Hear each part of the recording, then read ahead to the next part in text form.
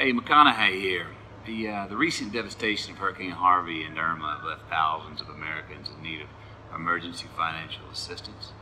And our fellow SAG-AFTRA members are among those struggling to rebuild their lives. And that's why the SAG-AFTRA Foundation and the Motion Picture Players Welfare Fund have created a hurricane relief fund. And it is already seeded with $400,000, all of which will go toward helping SAG-AFTRA members who have been affected by these disasters. The Actors Fund has joined us in this important work on the ground by providing trained social workers who are ready to assess needs and administer the funds. We're all working together on this, and that's a great start, but we still do need more help. If you need help, please ask. If you can help, please give.